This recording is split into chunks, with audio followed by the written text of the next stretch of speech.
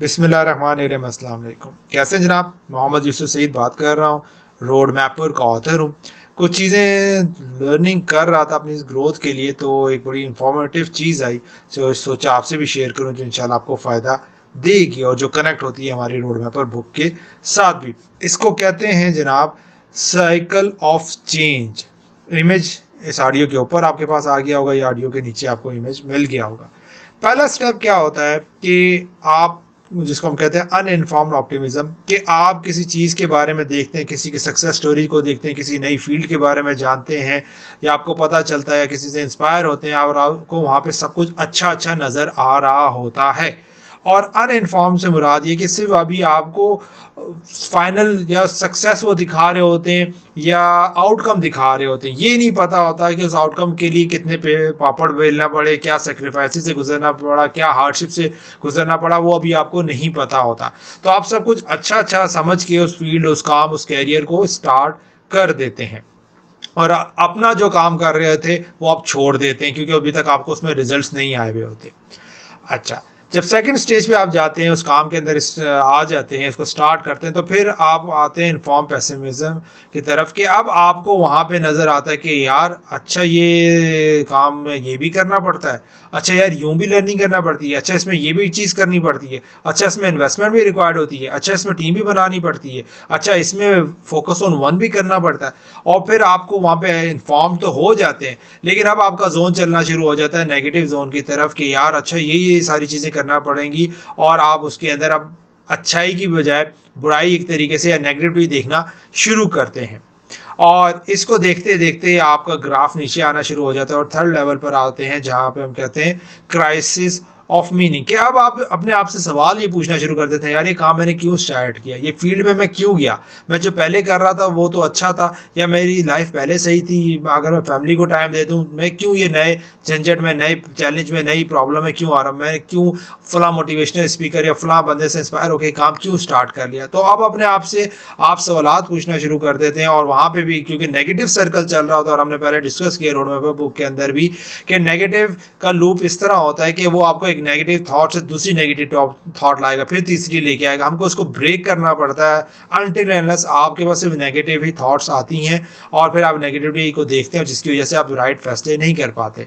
और most of the cases में क्या होता है कि जब आप इस नेगेटिविटी और क्राइसिस और मीनिंग के अंदर घूम रहे होते हैं कि ये क्यों कर रहा हूँ, किस लिए कर रहा हूँ, और वो जो पहले जिन लोगों की सक्सेस स्टोरीज देखी, वो कर रहे होंगे तो कोई फ्रॉड कर रहे होंगे या धोखाधड़ी से काम कर रहे होंगे, सारा अनएथिकल होगा। जैसे अक्सर लोग जब किसी अमीर बंदे को देखते हैं तो ज़्यादातर यही रिकॉल करते हैं कि यार इसने धोखाधड़ी से या फ्रॉड करके पैसा कमाया होगा। हक हलाल से तो चांसेस कम ही हैं, ठीक है? तो इस तरह के सवाल इस तरह के जो है अपने आप को जस्टिफिकेशन देते हैं तो ताकि आप अपने आप को उस काम से निकाल सकें। और क्या होता है, ज़्यादातर केसेस के अंदर आप चौथे लेवल पर चले आते हैं कि क्रैश कर जाते हैं और बर्न आउट हो जाते हैं एग्जॉस्ट हो जाते हैं, क्योंकि आपको आगे कुछ क्लियरिटी नज़र नहीं आ रही होती। इसीलिए हमने रोड मैपर बुक में फाउंडेशन में बड़ा काम किया कि आपको जब तक विजन क्लियर नहीं होगा, आपका पर्पस क्लियर नहीं होगा, आपकी वाई क्लियर नहीं होगी। जब हमने क्यू फाइव वाई का जो सवाल पे हमने बात की थी, और जब तक अपने फाइनेंसिस अपनी सारी चीज़ों को आप रिकॉल नहीं करेंगे, आपको पता नहीं होगा कहाँ खड़े हैं, किधर जाना चाहते हैं, और कहाँ पहुँचेंगे, और कौन सी व्हीकल को पूछेंगे। सारी चीज़ें रोड मैपर की बुक अगर आपने पढ़ी है तो आपको चीज़ें डॉट समझ आनी चाहिए। नहीं पढ़ी तो ज़रूर पढ़ लीजिएगा। तो वहाँ पर अब क्या होता है, आप क्रैश और बंद कर देते हैं। बहुत कम लोग होते हैं जो ये चीज़ रियलाइज़ करते हैं और समझते हैं कि यार हाँ ये जो हार्डशिप है, ये जो अभी प्रोसेस है, इससे मुझे गो थ्रू करना है। क्योंकि अब मेरे पास जो लर्निंग आई है अच्छा यार, ये काम करने के लिए ये चीज़ चाहिए। अच्छा मेरे पास टाइम नहीं है, मैं अच्छा यूँ टाइम एडजस्ट करूँगा अच्छा वसाइल नहीं है, मैं अच्छा वसाइल को यूँ एडजस्ट कर लेता हूँ। तो अब आपके पास इन्फॉर्म ऑप्टिमिज्म की तरफ़ मूव करते हैं जब आपको चीज़ें पता चलना शुरू होती हैं फाइव स्टेप्स के अंदर और अब आप पॉजिटिविटी की तरफ़ जाना शुरू करते हैं क्योंकि आपका वो दोबारा फोकस वहाँ पे रिवाइव होता है। और जब आप इस प्रोसेस से गुजरते हैं, पाँचवें स्टेप से गुजरते हैं तो आप पहुँचते हैं छठे स्टेप तक जिसको हम अचीवमेंट या रिवॉर्ड या जिसको हम सक्सेस कहते हैं।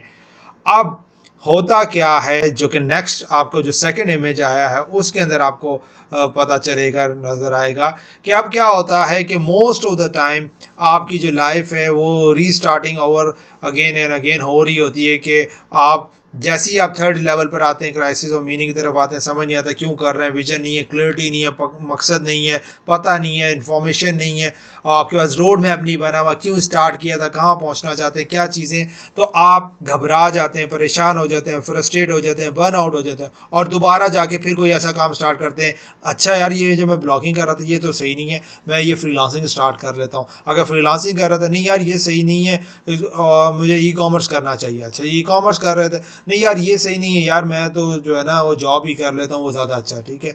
जॉब कर रहे थे। नहीं यार जॉब अच्छी नहीं है यार, मुझे तो अपना बॉस बनना है, क्योंकि वो दुनिया दिखा रहे हैं, वो दिखा रहे हो। देखो, वो बॉस है, उसके पास दस बंदों की, बीस बंदों की टीम है।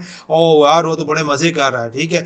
जो बॉस बना हुआ है, यार, मैं भाई जॉब ही कर लूँ, ज़्यादा अच्छा है, क्योंकि मैं महीने का बीस लाख तो कमा रहा हूँ, लेकिन मेरा होम टेक जो इनकम है, वो एक लाख है। लेकिन जो मुझे सैलरी मिल रही है, वो मुझे जो है ना, तकरीबन चार लाख रुपए में होम टेक करता हूँ, और विदाउट एनी सर्ट देती तो मेरा जो गोल था, चार पैसे कमाने का, ताकि मैं सेविंग करके फला काम कर सकूँ या ट्रैवल कर सकूँ या वट एवर द गोल वो तो मैं जॉब से ज़्यादा अच्छा मीट कर सकता हूँ। मुझे तो ऐसे ही फंसा दिया गया मैंने ऐसे ही इंस्पायर हो गया उन लोगों से जो एक अलग डायरेक्शन में थे, जिनके पास ये अपॉर्चुनिटीज़ नहीं थी, जो मेरे पास थी।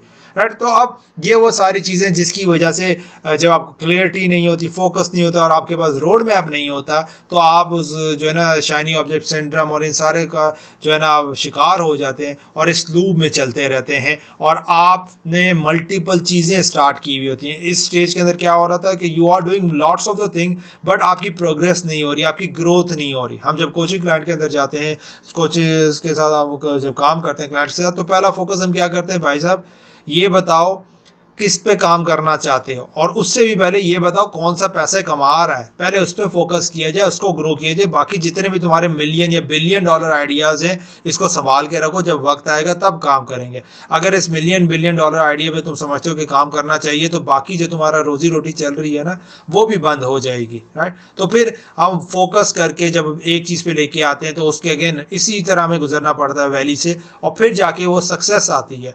और इसकी प्रॉब्लम क्या होती है कि आपको जब आप उस रफ पैस से, उस लर्निंग फ़ेज़ से, उस प्रैक्टिस फ़ेज़ से, उस ट्रायल फ़ेज़ से आप गुजर रहे हैं तो आपको रिज़ल्ट नहीं आएँगे सक्सेस नहीं आएँगे, लेकिन आपके सराउंडिंग में शायद लोग डिफरेंट फ़ील्ड में डिफरेंट कामों में सक्सेस ले रहे हैं। अब आपको जो है ना वो, क्या कहते हैं सबर नहीं है, आपके अंदर पेशेंस नहीं है क्लियरिटी नहीं है तो अब आप क्या करेंगे जनाब? आप भी जो है ना एकदम से अपनी फ़ील्ड छोड़ेंगे और जम मारेंगे। और जैसे ही आप दूसरी फ़ील्ड में जाएँगे, दूसरे काम में जाएँगे ज़ीरो से स्टार्ट करेंगे। और ये अगेन रिकॉल कर लें, जो मैंने आपसे कहा था जस्ट हमारी रोड मैप बुक के अंदर डायग्राम है ए बी और सी कैरियर वाला, कि कौन सा कैरियर आप पिक करेंगे और क्यों पिक करेंगे? तो यही काम हो रहा होता है। ये जब आपको पता नहीं होता कि क्यों पिक किया तो फिर आप ए से बी में जाते हैं, फिर बी से सी में जाते हैं सी से फिर ए में आते हैं, फिर ए से फिर सी में बी ए बी सी इस तरह करते रहते हैं। और आपको पता चलता है कि आपने पाँच छः सात साल निकाल दिए हैं और आपको कुछ भी हासिल नहीं हुआ है।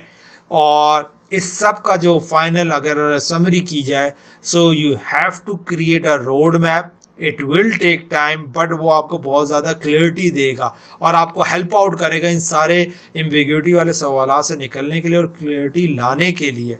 Once you have a road map तो उसके बाद आप जो जर्नी पे जाएँगे, जब आपको फ्रस्ट्रेशन को प्रॉब्लम्स आएगी तो आपको पता होगा मैं ये काम क्यों कर रहा हूँ, किस लिए कर रहा हूँ, आपकी वाय और काफ़ी चीज़ें क्लियर होंगी। तो फिर आप डिस्ट्रैक्ट नहीं होंगे। और जब डिस्ट्रैक्ट नहीं होंगे तो फिर आप उस रफ पैसे जो क्राइसिस ऑफ़ थर्ड लेवल है क्राइसिस ऑफ़ मीनिंग इससे निकल पाएँगे। पाँचवें लेवल पर जाने के लिए तैयार होंगे, जिसको हम इन्फॉर्म्ड ऑप्टिमिज्म कहते हैं, जो फिर आपको ग्रोथ और आपकी सक्सेस पे लेके जाएगा। रोड मैप पर बुक पढ़ लें। मैराथन भी कर दी थी बुक नहीं पढ़ी जाती है तो मैराथन को वॉच आउट कर लें, अपना रोड मैप बना लें और सिंसेटी से बनाएँ। आप में से अक्सर लोग रोड मैप बनाते हैं, चार पाँच बुलेट पॉइंट्स लिख लेते हैं यू फील कि आपने बहुत कुछ कर लिया है। लेकिन जब आप अक्सर लोगों के साथ मेरे साथ कंसल्टेशन में या डिस्कस करने का रोड मैप पता चला है तो उन्होंने चार छः बुलेट पॉइंट्स बनाए थे, लेकिन जब हमने एंड किया सेशन तो पता चला कि जनाब ये तीस, चालीस की बोले पॉइंट्स हैं उनके रोड मैप के साथ, जिसको अगर कंबाइन करके वर्कआउट किया जाए, तब जाके अपनी मंजिल पर पहुँचते हैं। और यही फ़र्क था कि जब उन्होंने जो थॉट प्रोसेस को लेके आया, वो चार छः पॉइंट्स थे। लेकिन जब रियल हम गए प्रैक्टिकल डीप गए तो पता चला, जनाब, ये तीस स्मॉल स्टेप्स हैं जो आपको आपके गोल तक पहुंचाएँगे। तो आई होप कुछ चीज़ें क्लियर हुई होंगी। अगेन रह दे के बाद वही आती है रोड मैप पर बुक में पढ़ लें। आहिस्ता आहिस्ता शायद समझ आएगी आहिस्ता आहिस्ता लर्निंग होगी। But if you are not able to get the success which you dream the only thing that you are lacking is that you do not have a road map or again, you are just one road map away. Thank you. Take care. Allah hafiz. और अपनी feedback दीजिएगा ताकि अगर आपको अच्छी लगे तो आई मे भी शायद इस तरह की और चीज़ें मैं आपसे शेयर करता रहूँ। थैंक यू टेक केयर अल्लाह हाफिज़